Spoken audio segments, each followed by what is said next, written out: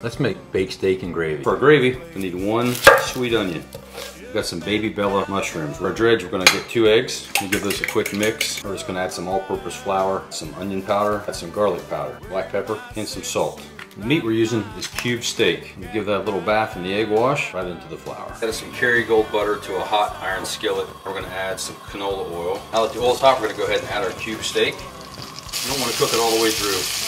Just want to get a nice crust. Okay, now we've got our meat out. We're going to add a little more butter. We're going to add our mushrooms and onions. We're going to add a can of French onion soup, half a cup beef broth, a little pepper. Now we're going to add in some more beef broth. Take our cornstarch slurry and add it right into our gravy. Now we'll go ahead and add the rest of our gravy right on top.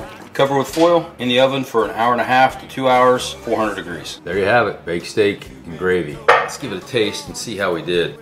This is another Firehouse favorite. Cheers. That, my friends, is amazing. Thanks for watching. Please hit that like and subscribe.